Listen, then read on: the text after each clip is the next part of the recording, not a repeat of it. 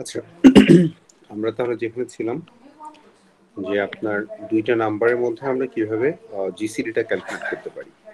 তো আমরা একটা নাম্বার দেওয়া আছে এ কস টু এইটিন এবং বি কস টু মনে করেন টুয়েলভ তাহলে আমরা যদি ইউক্লিডিয়ান যে পদ্ধতি, সেটা যদি ফলো করি, তাহলে আমাদের ইউক্লিডিয়ান মেথডটা হচ্ছে যে আমরা বড় নাম্বারটাকে ছোট নাম্বারটা দ্বারা ভাগ করব।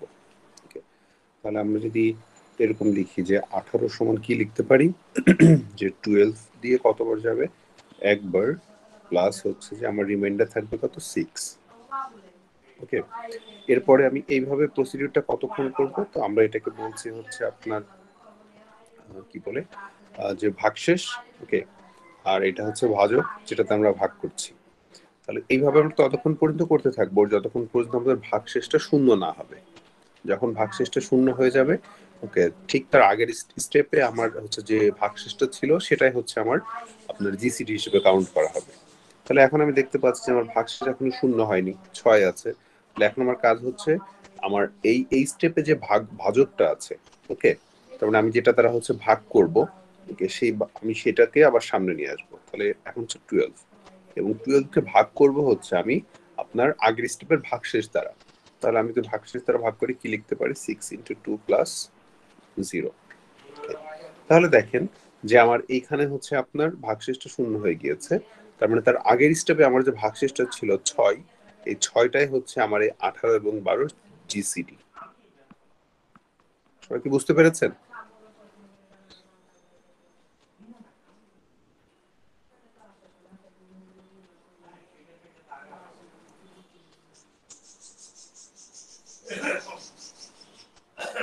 আমাকে শুনতে পাচ্ছেন কি আপনারা? জি স্যার। সবাই কি এই প্রসেসটা বুঝতে পেরেছেন কিনা?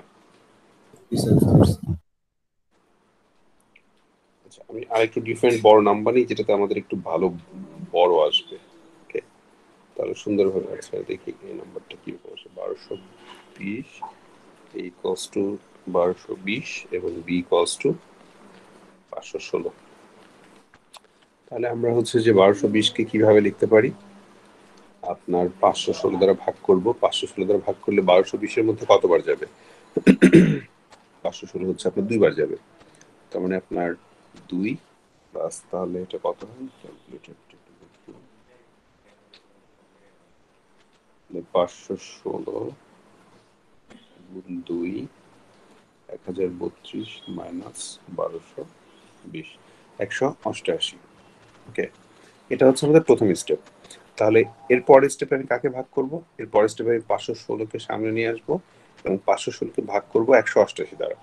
তাহলে আমার কি হবে? যে আমি একশো অষ্টাশি ইন্টু একশো অষ্টআশি করা যাবে? ওয়ান এইটি এইট গুণ তিন। পাঁচশো চৌষট্টি হয়ে যাবে, তাহলে দুইবার যাবে। সো টু প্লাস তাহলে আমার একশো অষ্টআশি গুণ দুই, তিনশো ছিয়াত্তর মাইনাস পাঁচশো ষোলো। মানে এটা হচ্ছে একশো চল্লিশ। এবার আবার কি করব? ওয়ান এইটটি এইটকে সামনে নিয়ে আসব। ভাগ করব কত দ্বারা? ওয়ান ফোরটি দ্বারা। ওয়ান ফোরটি কতবার যাবে? একবার যাবে। প্লাস আমার ভাগশেষ কত থাকবে? ফোরটি এইট এরপরে আমার কি হবে আবার? ওয়ান ফোরটি সামনে আসবে। আমি ফোরটি এইট দ্বারা ভাগ করব। ফোরটি এইট দ্বারা ভাগ করলে আমার কতবার যাবে? ফোরটি এইট দ্বারা যদি আমি এটাকে ভাগ করি, তাহলে আমার তিন একশো বিশ তিনবার যায় না দুইবার যাবে। Okay so ninety six plus হচ্ছে যে আমার ফোরটি ফোর দেন এরপরে আবার ফোরটি এইটকে তাহলে সামনে নিয়ে আসব এবং ফোরটি ফোর দ্বারা ভাগ করব। তাহলে ওয়ান প্লাস ফোর এরপর আবার ফোরটি ফোরকে সামনে আনব ফোর দ্বারা ভাগ করব। ইলেভেন প্লাস জিরো তাহলে বলেন তো যে আমার জিসিডিটা আসলে কত?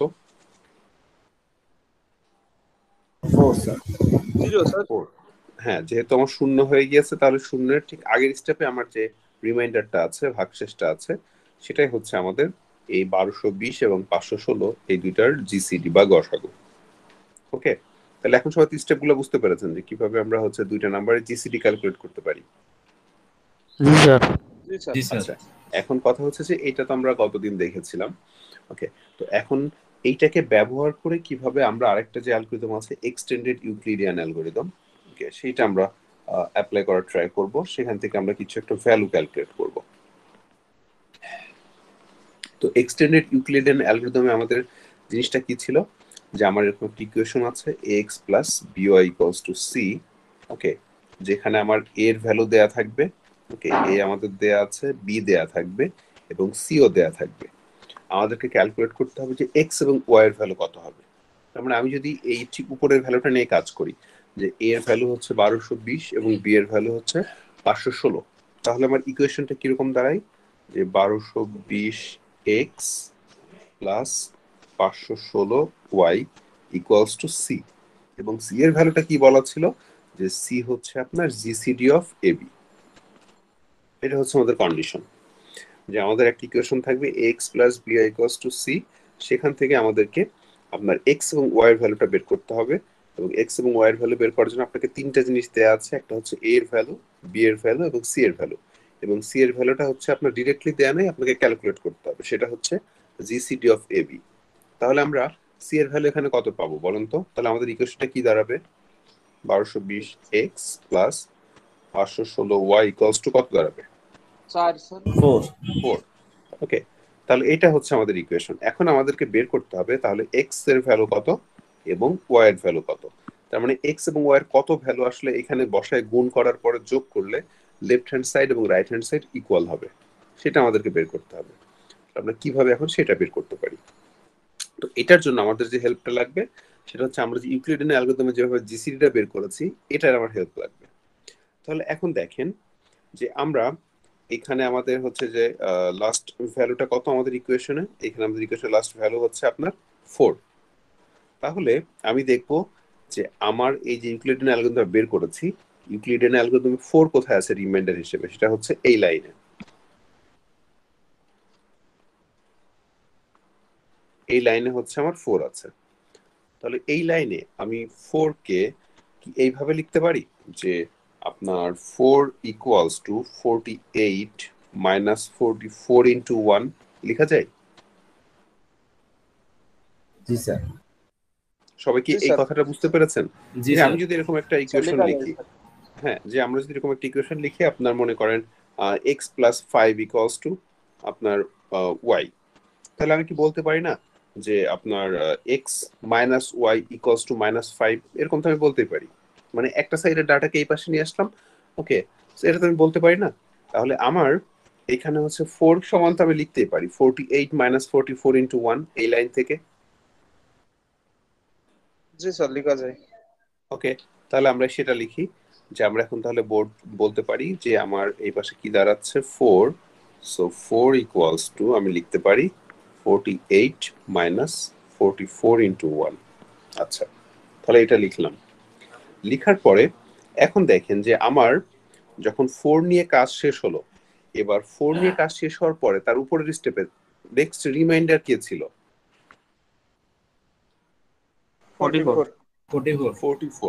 ওকে তাহলে আপনি এখন যে কোয়েশনটা পেয়েছেন এখানে কি ফোরটি ফোর আছে না? জি স্যার। তাহলে আমরা ফোরটি ফোর কে আবার রিপ্লেস করতে পারি।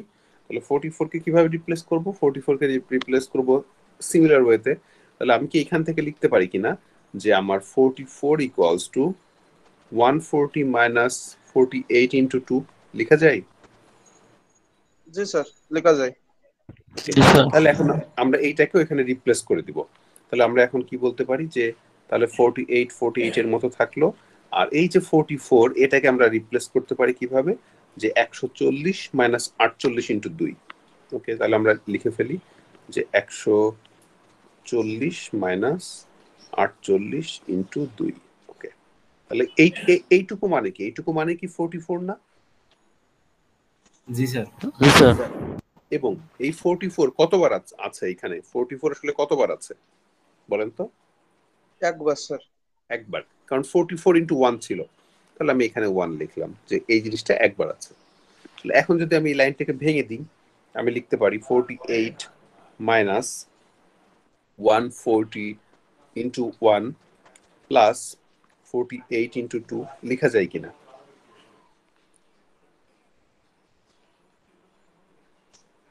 দেখেন তো এই লাইনটা সবাই বুঝতে পেরেছেন কিনা? স্যার। হুম? গুণ করে দিলাম স্যার এক দিয়ে হচ্ছে হ্যাঁ। একশো চল্লিশ রাইট আমরা গুণ করে দিলাম। যে আমরা যে এরকম বিভিন্ন সময় ইকুয়েশন দেখেছি না যে আপনার X minus Y minus five আমরা এটা বলতে পারি না X minus Y plus five হ্যাঁ জি স্যার। ওকে আমরা ঠিক সেই কাজটাই করেছি। সবাই কি এটা বুঝতে পেরেছেন? এই লাইনটা? জি স্যার। জি স্যার। তাহলে এখন দেখেন আমি এইটাকে এখন দেখতে পাচ্ছি আহ, যে আমার হচ্ছে আপনার ফোরটি এইট আছে অ্যাকচুয়ালি তিনবার মাইনাস ওয়ান ফোরটি আছে একবার। লেখা যায় এইভাবে? জি স্যার। জি স্যার। এখন দেখেন একটা জিনিস কিন্তু খেয়াল করেন যে আপনার ফোরটি এইট হচ্ছে three times minus one forty কিন্তু ওয়ান টাইমস এখন যদি আপনি ফোরটি এইটকে আসলে থ্রি টাইমস গুণ করেন, তাহলে আপনি দেখবেন যে কত আসে দেখি আমি একটু ক্যালকুলেটর ওপেন করি। মানে forty eight into three that means একশো চুয়াল্লিশ। দেখেন, একশো চুয়াল্লিশ থেকে আপনি কিন্তু সেই একশো চল্লিশকে বাদ দিচ্ছেন। তাহলে আপনার কিন্তু সেই, দেখেন অ্যাকচুয়াল ফোর ভ্যালু চলে আসবে না। তারপরে আপনি কিন্তু খুব মানে কিছু বেশিও লিখেননি, কিছু কমও লিখেননি। আপনার ইকুয়েশন কিন্তু এখনও রাইট ওয়েতে আছে।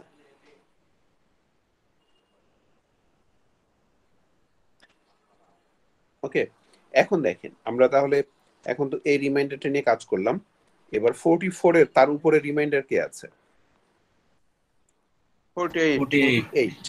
এখন ফোরটি এইট কে কি এভাবে লেখা যায় যে one eighty eight minus one forty into one মানে এই থেকে আমরা এইভাবে লিখতে পারি কিনা? যে one eighty eight minus one forty into one equals to forty eight লেখা যায়? এইটাকে জাস্ট আমরা এই পাশে নিয়ে আসলাম।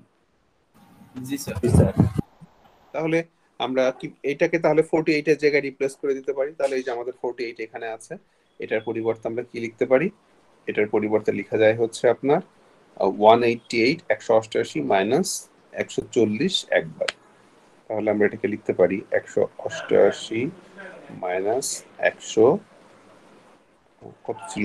চল্লিশ না চুয়াল্লিশ। চল্লিশ। চল্লিশ স্যার একশো চল্লিশ। ওকে সেটা হচ্ছে আপনার কতবার? একবার। এবং ফোর তাহলে এইটুকু মানে কি? এইটুকু মানে কি ফোরটি এইট না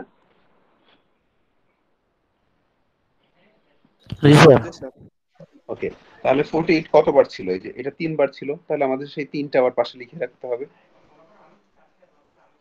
এবং মাইনাস আমার হচ্ছে ওয়ান ফোরটি ওয়ান টাইম এখন এটাকে আমি সেম ভাবে গুণ করে লিখে দিতে পারি না যে one eighty eight three times minus one forty three times minus one forty one times one time লেখা যায় কিনা? জি স্যার। তাহলে এখন এটাকে আমি যোগ করে দিই যে one eighty eight three times minus one forty four times একশো অষ্টাশির সাথে আপনারা তিন গুণ করেন একশো চল্লিশের সাথে চার গুণ করেন বিয়োগ করেন দেখবেন সেই ফোরই ফিরে আসবে। সবাই কি এতটুকু বুঝতে পেরেছেন? স্যার প্রথমটা হচ্ছে পাঁচশো হ্যাঁ বলেন। পাঁচশো চৌষট্টি। হ্যাঁ পাঁচশো চৌষট্টি আর চার গুণ একশো চল্লিশ পাঁচশো ষাট। পাঁচশো ষাট তাহলে কিন্তু আপনার সেই চারই ফিরে আসবে। আপনি কিন্তু খুব মানে কোনো কিছু বেশিও লিখেননি কোনো কিছু কমও লিখেননি।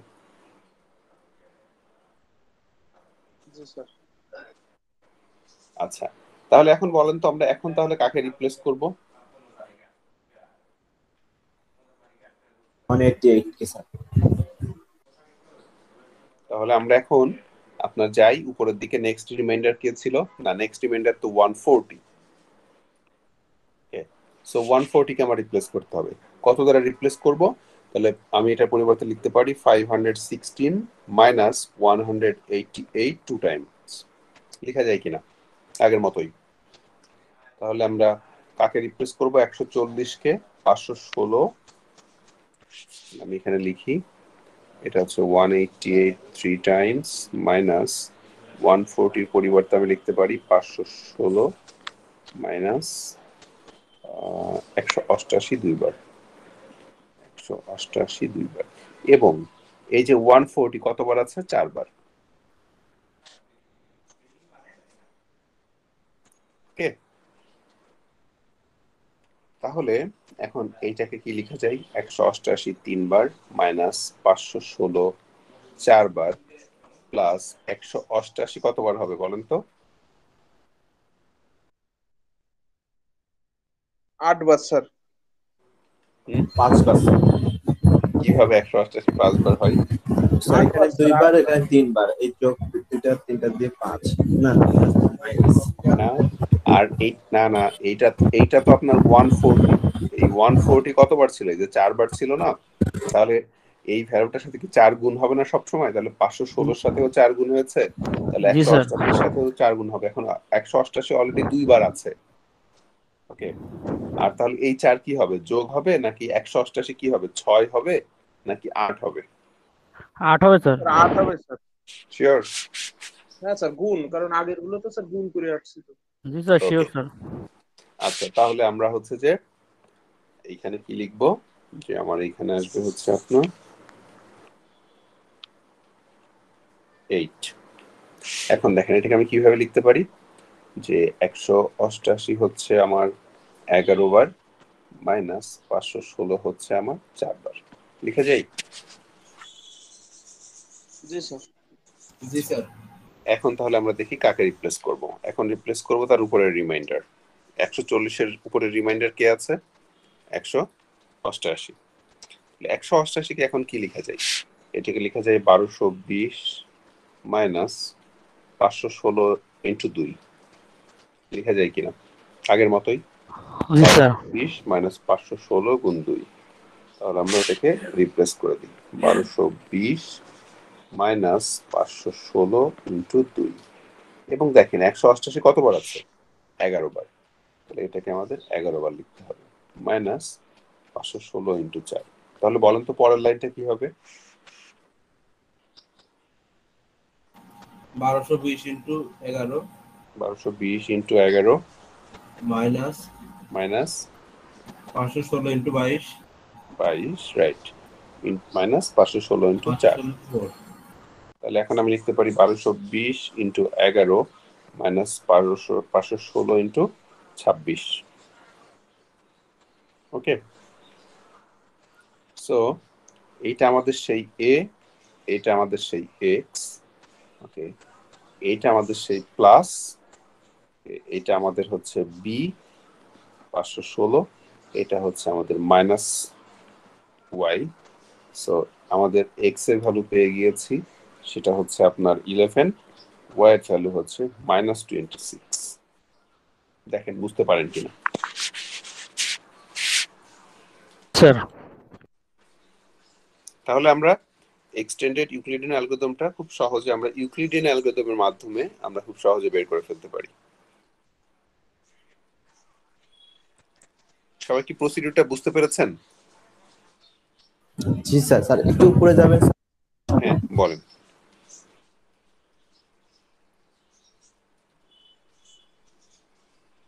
কোনো পার্ট নিয়ে কারও কোনো কনফিউশন আছে কিনা?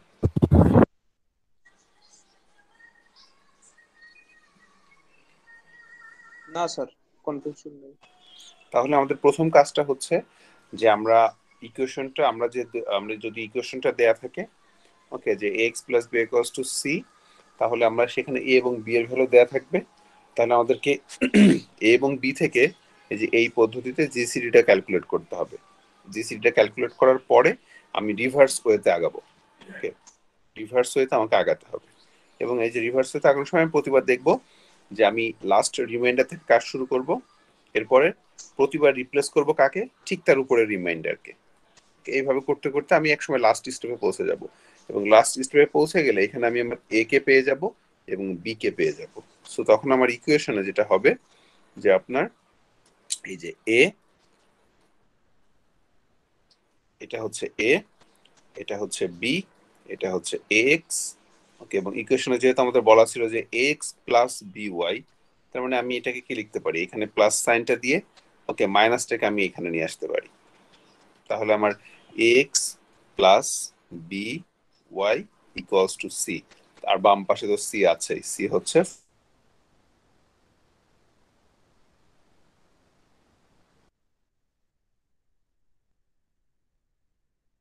ফোর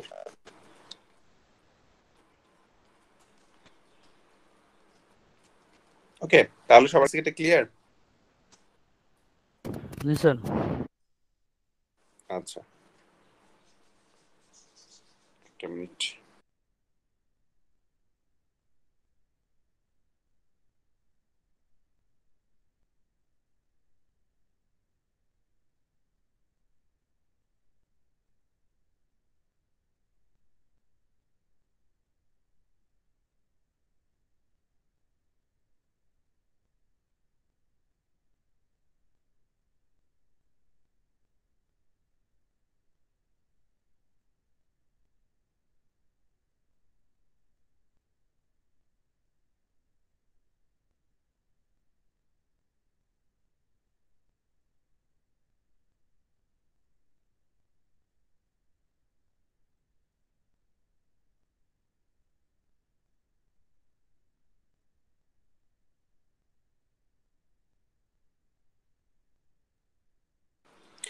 আচ্ছা তাহলে তো পারবেন নাকি? পরীক্ষাতে আপনাদের হচ্ছে যে আহ, এরকম আহ, আপনার a x plus b y to c ইকুয়েশনটা দেওয়া থাকবে যেখানে এ এবং বি এর ভ্যালু দেওয়া থাকবে আপনাদেরকে এক্স এবং ওয়াই এর ভ্যালু ক্যালকুলেট করতে হবে।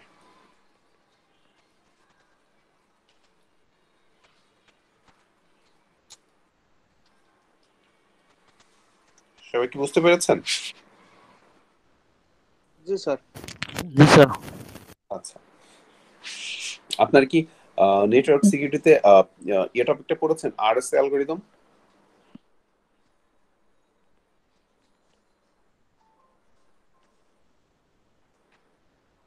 এটার নাম শুনেছেন? জি স্যার মনে নাই। ভুলে গিয়েছেন? আরএস অ্যালগরিদমটা আর বাকিদের কি অবস্থা? আরএস অ্যালগরিদমের নাম শুনেছেন? স্যার আগের সেমিস্টারে তো ছিল স্যার। আচ্ছা এটা আমাদের এখন লাগবে। তো আমি তাহলে একটু রিভিউ দিয়ে দিই। আরএস অ্যালগরিদমটা হচ্ছে আমরা মেইনলি ব্যবহার করি যে আপনার, আমরা যে বলেছিলাম মনে আছে কিনা, আপনাদের একটা ধাঁধা ধরেছিলাম যে যদি আমি একটা বক্স এ থেকে বি এর কাছে পাঠাতে চাই, ওকে বক্সে আমি যে তালা মেরে দিব, ভাঙা যাবে না, ঠিক আছে?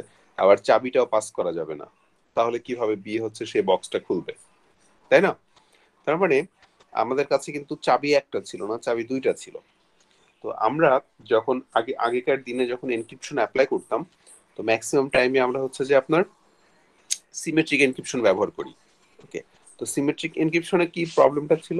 যে সেখানে একটা মাত্র কি ব্যবহার করা হয়, আমাদের কি হচ্ছে সেম ওকে সেন্ডার এবং রিসিভার দুই প্রান্তে আমাদের কিটা হচ্ছে সেম অর্থাৎ আমি যে কি দিয়ে বা চাবি দিয়ে আপনার মেসেজটা লক করে দিব, আপনাকেও সেই সিমিলার কি দিয়ে আমার চাবিটাকে আনলক করতে হবে। তো এখন দেখা গেল যে এক্ষেত্রে আমাদের প্রবলেম হয় এই যে আমরা যে সিমেট্রিক কি ব্যবহার করব, তাহলে তার মানে আমি যদি যে কোনো একটা পক্ষের কাছ থেকে চাবিটা কোনোভাবে আপনার হচ্ছে যে লিক হয়ে যায়, তাহলে আমার পুরো সিস্টেমটা কিন্তু একটা সিকিউরিটি ভালনারেবিলিটিস ইস্যু তৈরি হয়। তো আমরা সেই ক্ষেত্রে কি করলাম যে না, তাহলে সিমেট্রিক আমরা অ্যাভয়েড করে আমরা সেটাকে অ্যাসিমেট্রিক করতে পারি কিনা। তো সেক্ষেত্রে আমরা যেটা করি যে একটা পাবলিক কি জেনারেট করি এবং একটা প্রাইভেট কি জেনারেট করি, দুইটা কি জেনারেট করি। তো পাবলিক কি এবং প্রাইভেট কি দিয়ে কি হয়? যে আমি, ধরেন যে আমার প্রাইভেট কি দিয়ে আমি যে কোনো মেসেজকে লক করে দিব, আর আমার পাবলিক কি দ্বারা যে কোনো মেসেজকে আমি খুলতে পারব আনলক করতে পারব। তো এখন, তাহলে আমার এক্ষেত্রে কি হবে? যে আমার হচ্ছে যে যখনই আমি কাউকে কোনো মেসেজ সেন্ড করতে যাব, আমি আমার প্রাইভেট কি দ্বারা লক করে দিব সেই মেসেজটাকে এবং পাবলিক কিটা হয়তো ধরেন যে তার কাছে থাকবে, সে হয়তো সেই কি দিয়ে কি করতে পারবে? আনলক করতে পারবে। যেমন আমরা হচ্ছে যে হোয়াটসঅ্যাপের কথা বলি ওকে হোয়াটসঅ্যাপে কিন্তু আপনার এন্ড টু এন্ড এনক্রিপশন ব্যবহার করা হয়। তার মানে আপনি আপনার ডিভাইসের জন্য একটা পাবলিক কি প্রাইভেট কি আছে এবং আপনি যার সাথে কন্ট্যাক্ট করছেন, তার ডিভাইসেও কিন্তু একটা পাবলিক কি প্রাইভেট কি আছে। তো সে যখন আপনাকে কোনো মেসেজ সেন্ড করছে ওকে আপনার সেই ডিভাইসের যে কিটা জেনারেট হয়ে আছে, তার সেই প্রাইভেট কি দ্বারা মেসেজটাকে লক করে দেওয়া হচ্ছে এবং আপনার ডিভাইসে এসে সেটা কিন্তু আপনার ডিভাইসের যে পাবলিক কি আছে, সেটা দ্বারা আনলক করা হচ্ছে। ওকে তার মানে আপনার সাথে আমার কমিউনিকেশনটা হচ্ছে এন্ড টু এন্ড ওকে মাঝপথ থেকে কোনো পার্টি কিন্তু আপনার বা আমার মেসেজ রিড করতে পারছে না, কারণ পুরোটাই এনক্রিপ্টেড হয়ে আসছে আমার ডাটাটা তাহলে এই ক্ষেত্রে যেটা হয় যে আমার চাবিটা কখনোই আমাকে ট্রান্সফার করতে হচ্ছে না। ওকে মাঝখানে আমাদের কোনো চাবির আদান প্রদান হচ্ছে না এবং যদি একজনের চাবি কেউ পেয়েও যায় ওকে তাহলেও আসলে ওই ঘরের তালা ভাঙার কোনো মানে পসিবিলিটি নাই। বুঝে গিয়েছে?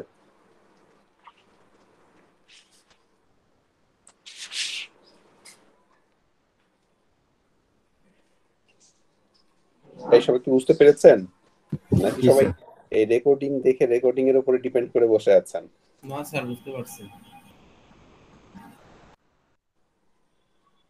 আচ্ছা তাহলে এখন আমাদের দেখি যে আমাদের সিস্টেমটা আসলে কীভাবে কাজ করে কীভাবে একটা আমরা আরএস অ্যালগরিদমের মাধ্যমে খুব সহজে আমরা দুইটা ভ্যালু থেকে আমরা হচ্ছে একটা পাবলিক এবং একটা প্রাইভেট কি জেনারেট করতে পারি। তো আমাদের যে প্রথম যে কন্ডিশন সেটা হচ্ছে আমাদেরকে একটা পি এবং কিউ এর ভ্যালু দেয়া থাকবে। যেটা হচ্ছে দুইটা প্রাইম নাম্বার পি এবং কিউ এর ভ্যালু অবশ্যই প্রাইম হতে হবে। তো ধরেন যে আমরা পি এর ভ্যালু নিলাম হচ্ছে আপনার যেটা আমাদের থ্রি আর কিউ এর ভ্যালু হচ্ছে ইলেভেন নেক্সট স্টেপে আমাদের কাজ কি হবে? নেক্সট স্টেপে আমাদেরকে একটা এন এর ভ্যালু ক্যালকুলেট করতে হয়, যেটাকে আমরা বলে থাকি হচ্ছে p into q n calculate করার নিয়মটা হচ্ছে পি ইন্টু কিউ তাহলে আমার এন এর ভ্যালু কত হবে? Three into eleven that means thirty three okay এরপরে আমরা যেটা বের করব সেটা হচ্ছে আপনার ফাই অফ এন তো ফাই অফ এন হচ্ছে আপনার p minus one into q minus one তাহলে আমার এখানে ভ্যালুটা কত আসবে? এটা হচ্ছে three minus one that means two into q minus one eleven minus one ten তার মানে হচ্ছে twenty okay so phi of n বের করার পরে আমাকে কি করতে হবে? এমন একটা ইন্টিজার নিতে হবে যে যে ইন্টিজারটা আমি নিলে আমার যে আপনার এই যে ফাই অফ এন ওকে এবং এ এদের জিসিডিটা আমার হচ্ছে ওয়ান হবে এবং এর ভ্যালুটা আমার এমন একটা ভ্যালু নিতে হবে, যে ভ্যালুটা নিলে আমার সেটা হচ্ছে ওয়ানের থেকে বড় হবে এবং ফাই অফ এন এর চেয়ে ছোট হবে মানে আমাকে এখন এমন একটা ভ্যালু এ নিতে হবে এ আমি কত নিব সেটা আমাকে বের করতে হবে, তাহলে সেই ভ্যালুটা যেটা হবে, যে সেই ভ্যালুটা হবে হচ্ছে ওয়ানের থেকে আপনার বড় এবং ফাই অফ এন এর থেকে ছোট।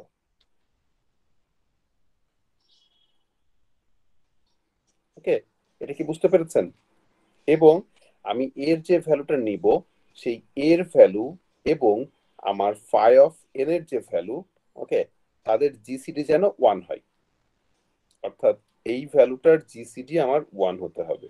তাহলে বলেন তো, আমি কোন ভ্যালুটা নিলে সেটা ওয়ান হবে? তার মানে আমি চার পাঁচ নিলে? চার আর পাঁচ চার নিলে কি আপনার ওয়ান হয়? যদি আপনি চার নেন আপনার ফাইভ অফ এন এর ভ্যালু কত এখানে? না স্যার হবে না স্যার তাহলে তাদের গসাগু কি এক হবে? না না না হবে না স্যার তাহলে কত নেওয়া যায়? আমরা সেভেন নিলে সেভেন সেভেন নিতে পারি। ওকে আমরা সেভেন নিতে পারি। ঠিক আছে? তাহলে সেভেন নিলে যেটা হবে যে আপনার, আমার তাহলে এখানে যদি সেভেন আসে সেভেন এবং টোয়েন্টির আপনার জিসিডি হচ্ছে ওয়ান হবে। সেভেন যেহেতু একটা প্রাইম নাম্বার তাহলে আমি এর ভ্যালুটা সেভেন নিতে পারি। ঠিক আছে? এখন তাহলে আমরা যে ভ্যালুটা পেয়েছি, কি কি পেয়েছি? আপনার এ পি এবং কিউ এর ভ্যালু এবং এর ভ্যালু পেয়েছি। ওকে সবাই কি দেখেন বুঝতে পারছেন কিনা? জি স্যার। আচ্ছা। তাহলে আমরা একটা ভ্যালু পেলাম আপনার হচ্ছে যে কই গেল? সেভেন ওকে এখন হচ্ছে আমাদের যে কাজটা করতে হবে আমাদেরকে একটা আপনার ডি এর ভ্যালু ক্যালকুলেট করতে হবে। তাহলে আমি একটা ডি এর ভ্যালু ক্যালকুলেট করি।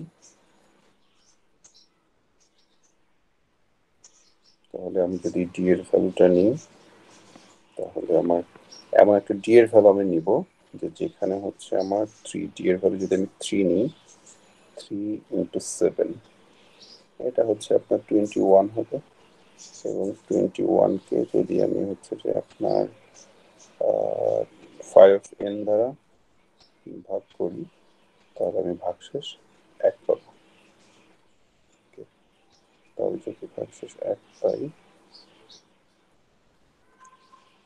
তাহলে ভ্যালুটা কত নেওয়া যায় থ্রি ইন্টু সেভেন দ্যাট ভ্যালুটা হচ্ছে a into d five n হ্যাঁ ওকে তাহলে হচ্ছে আমরা যেটা পাবো যে এখন আমাদেরকে একটা ডি এর ভ্যালু নিতে হবে যে ডি এর ভ্যালুটা আমি হচ্ছে কি করব যে আপনার এর সাথে গুণ করব এ ইন্টু ডি এবং এ ইন্টু ডি করার পর সেটাকে যদি আমি আপনার মড করি ফাই অফ এন দ্বারা, তাহলে আমার ভাগশেষটা হতে হবে এক। বুঝে গিয়েছে? যে আপনি তো এর ভ্যালু পেয়েছেন। এখন আপনাকে এমন একটা ডি এর ভ্যালু নিতে হবে, যে ভ্যালুটা নিলে এর সাথে গুণ করার পরে এবং ফাই অফ এন দ্বারা ভাগ করার পরে ভাগশেষ হবে এক। তাহলে আমি যদি আপনার এর ভ্যালু সেভেন হয় এবং আমি যদি ডি এর ভ্যালু অ্যাকচুয়ালি থ্রি নিই, তাহলে seven into three mod twenty আমি কি পাবো? ভাগশেষটা ওয়ান পেয়ে যাব তাই না? জি স্যার। তাহলে এখন হচ্ছে আমার কি হবে কোনটা? তাহলে আমার কি হবে হচ্ছে আপনার এ এবং এন আরেকটা কি হবে হচ্ছে আমার ডি এবং এন তার মানে আমার একটা কি হচ্ছে? থ্রি সরি এর ভ্যালু কত নিয়েছিলাম? Seven so seven thirty three আরেকটা ভ্যালু হবে হচ্ছে আপনার থ্রি থার্টি থ্রি তাহলে এইটা হচ্ছে আপনি ধরেন যে এটা হচ্ছে আপনার পাবলিক কি আর এটা হচ্ছে আপনার প্রাইভেট কি তাহলে আমার দুইটা কি জেনারেট হয়ে গেল। তার মানে একটা কি দ্বারা আমি লক করতে পারব আর একটা কি দ্বারা আমাকে আনলক করতে হবে। ওকে তাহলে আপনি এখন লক করবেন কীভাবে? তাহলে আমার মনে করেন যে আপনি একটা মেসেজ সেন্ড করতে চান, যে মেসেজটা হচ্ছে টু আমি ধরে নিলাম যে আমার ভ্যালুটা হচ্ছে টু তাহলে মেসেজটা আমার এনক্রিপশন করার নিয়ম হচ্ছে, আমি যদি এনক্রিপশন করি এটাকে, তাহলে আমার মেসেজটা এনক্রিপশন করার নিয়ম হচ্ছে two to the power a mod n তার মানে two to the power seven modulus thirty three তাহলে কি হবে? আমার two to the power seven মানে হচ্ছে একশো আঠাশ। একশো আঠাশকে যদি আমি থার্টি থ্রি দ্বারা ভাগ করি ভাগ শেষ কত পাবো? একশো আঠাশ থার্টি থ্রি দ্বারা ভাগ করি নিরানব্বই উনত্রিশ ওকে সো তার মানে এটা হবে হচ্ছে আপনার একশো আঠাশ মড থার্টি থ্রি আমরা আউটপুট পাবো হচ্ছে টোয়েন্টি নাইন এটা হচ্ছে আমার এনক্রিপশন তার মানে আমার এই যে আমার ইন্টারনেট দিয়ে আমার যে ডাটাটা পাস হবে, সেটা হচ্ছে আপনার টোয়েন্টি নাইন সো আপনি কিন্তু মেসেজ পাঠাতে চাচ্ছিলেন টু আপনার মেসেজ কিন্তু এখন সেন্ড হচ্ছে কত? টোয়েন্টি নাইন তার মানে কিন্তু কোনোভাবে বোঝার কোনো অপশন নেই যে আপনার এই টোয়েন্টি নাইন আসলে টু কে রিপ্রেজেন্ট করছে। তার মানে আপনার মেসেজ কিন্তু এনক্রিপ্টেড হয়ে গিয়েছে। সবাই কি এটা বুঝতে পেরেছেন?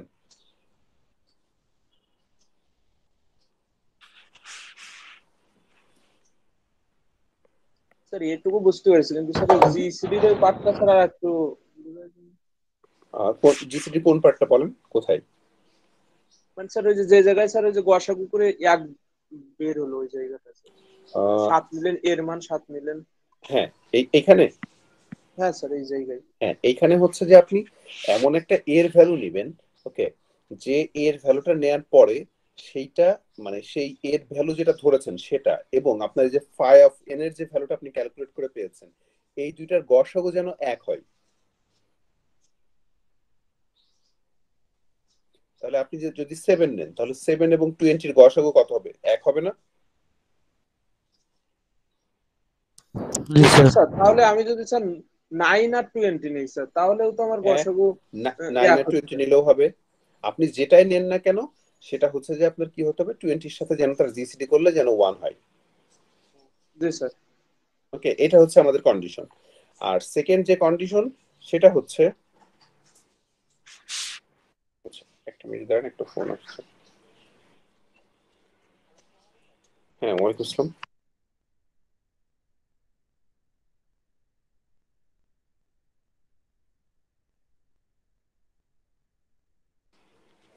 এটা হচ্ছে আমাদের একটা রুলস আর সেকেন্ড যে রুলস সেটা হচ্ছে যে আপনি যে এর ভ্যালু যেটা ধরবেন এবার এরপর আপনাকে একটা ডি এর ভ্যালু ক্যালকুলেট করতে হবে। ডি এর ভ্যালুটা ক্যালকুলেট করার নিয়ম হচ্ছে এর ভ্যালু যেটা ধরেছেন তার সাথে আপনি ডি এর যে ভ্যালুটা ধরবেন সেই দুইটা গুণ করবেন। গুণ করার পরে ফাই অফ এন এর যে ভ্যালুটা আছে যে টোয়েন্টি এই টোয়েন্টি দ্বারা ভাগ করলে ভাগশেষটা যেন এক হয়। বোঝা গেছে এখন? জি স্যার। কাজেই আমার দেখা গেলো এখানে আপনি নাইন নিলেন নাইন নেওয়ার পরে হয়তো আপনি এমন কোনো ভ্যালু খুঁজে পাচ্ছেন না যেটা নিলে আপনার এর সাথে গুণ করার পরে ডি এর সাথে গুণ করার পরে আপনার ভাগশেষটা এক হবে। তখন কিন্তু আপনাকে আবার ভিন্ন ভিন্ন ভ্যালু দিয়ে চেক করে দেখতে হবে।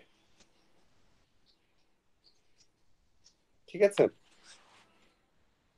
স্যার স্যার এক্সামে সোজাটা দিন স্যার। তাহলে এমনি সময় হ্যাঁ এক্সামে এমন কিছু দিব যাতে আসলে খুব সহজে আপনারা ক্যালকুলেট করতে পারেন। কারণ ওই সময় তো পরীক্ষার মাঝে এত এইভাবে আপনার হাতে হাতে ক্যালকুলেট করা তো পসিবল না। ওকে এমন কিছু দিব যেন ইজিলি পদ্ধতিটা জানা থাকলে আপনাদের বের- করে ফেলতে পারেন।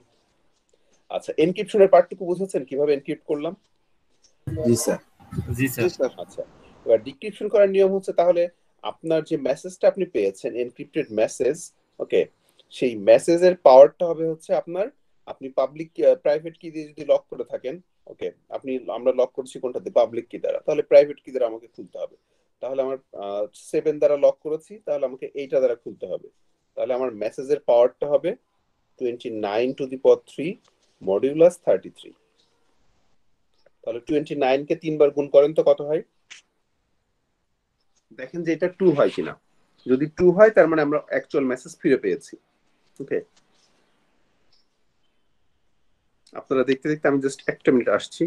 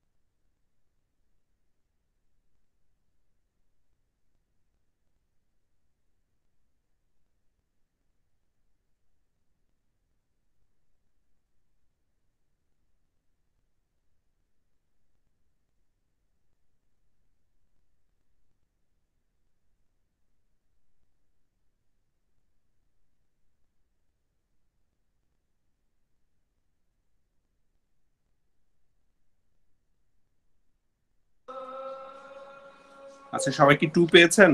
এটার আউটপুট কি টু আসে? জি স্যার। তাহলে twenty nine to the power three করলে আমাদের কত আসে? টোয়েন্টি নাইনকে যদি চব্বিশ হাজার তিনশো উননব্বই। আচ্ছা চব্বিশ হাজার তিনশো উননব্বই। উননব্বই। এটাকে আমরা ভাগ করব হচ্ছে থার্টি থ্রি দ্বারা। তাহলে আমি ভাগশেষ পাবো হচ্ছে টু তাহলে দেখেন যে এই যে আমরা আমাদের অরিজিনাল যে মেসেজ সেটাকে আমরা ডিক্রিপ্ট করার পরে ফিরে পেয়েছি। এটাই হচ্ছে আমাদের আরএস অ্যালগরিদম এবং আরএসসি কিন্তু অনেক সিকিউর একটা অ্যালগরিদম যেটা আমরা ম্যাক্সিমাম আমাদের যে ইন্টারনেটে আমরা যে ডাটা ট্রান্সফার করি, অনেক জায়গায় আরএস অ্যালগরিদমকে ব্যবহার করা হয়। তো এটার স্ট্রেংথ কেমন হবে বা কত সহজে এটাকে ব্রেক করা যাবে, এটা ডিপেন্ড করে যে আপনি যে পি এবং কিউ এর যে ভ্যালুটা নিয়েছেন না এই ভ্যালুটা কতটা স্ট্রং নিয়েছেন সেটার উপর ডিপেন্ড করবে। এবং এই দুটো ভ্যালু অলওয়েজ হচ্ছে আপনার প্রাইম হতে হবে। দুটো নাম্বার অলওয়েজ প্রাইম হতে হবে। প্রাইম না হলে কিন্তু আপনার ইকুয়েশন মিলবে না। স্যার তাহলে এই আমরা- ভ্যালু দুইটাকে আমরা নিজেরা নিয়ে নেব না স্যার কোশ্চেনে দিয়ে এই পি এবং কিউ এর ভ্যালু আপনাদেরকে আমি কোশ্চেনে দিয়ে দিব। এবং বলে দিব যে আমি এই মেসেজটা সেন্ড করতে চাই। তাহলে আপনার পাবলিক কি এবং প্রাইভেট কি কত হবে? এবং যদি এই মেসেজটাকে সেন্ড করেন সেই পাবলিক কি প্রাইভেট কি ব্যবহার করার পরে আপনার এনক্রিপ্টেড মেসেজটা আসলে কি হবে? এবং সেটাকে আপনি কীভাবে ডিক্রিপ্ট করবেন? তাহলে আমরা তিনটা টপিক দেখলাম। একটা হচ্ছে আপনার আজকে ইউক্লিডিয়ান অ্যালগরিদম দেখলাম। সো ইউক্লিডিয়ান অ্যালগরিদম দেখা হলো। ইউক্লিডিয়ান অ্যালগরিদমের কোশ্চেন তো বললামই। এক্ষেত্রে আপনার যেটা হবে যে আমরা কোন একটা ইকুয়েশন দিয়ে দিব। সেই ইকুয়েশন থেকে আপনাকে হচ্ছে আপনার a x plus b y plus c সেখান থেকে এক্স এবং ওয়াই ভ্যালু ক্যালকুলেট করতে হবে। আর আর এস অ্যালগরিদম তো আমরা দেখলামই। তো যেখানে হচ্ছে যে আমরা আপনার কি করি? দুইটা একটা পাবলিক এবং একটা প্রাইভেট কি জেনারেট করি, সেই পাবলিক কি এবং প্রাইভেট কি ব্যবহার করে আমি কোন একটা মেসেজকে এনক্রিপ্ট করতে পারি এবং সেই এনক্রিপ্টেড মেসেজকে আমি আবার ডিক্রিপ্ট করতে পারি। তো দেখেন, এখন পর্যন্ত যতগুলো তিনটা টপিকের কোনো, কারও কোনো কোশ্চেন আছে কিনা বা কোনো কনফিউশন আছে কিনা।